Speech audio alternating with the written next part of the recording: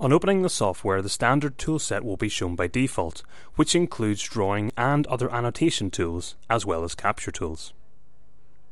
Click or press the toolset name at the bottom left of the software to show the list of other available toolsets, then select which one you wish to access.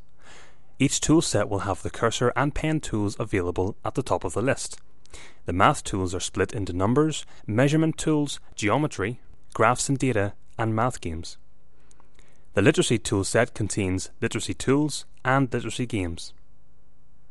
Some toolsets such as geography only have one category.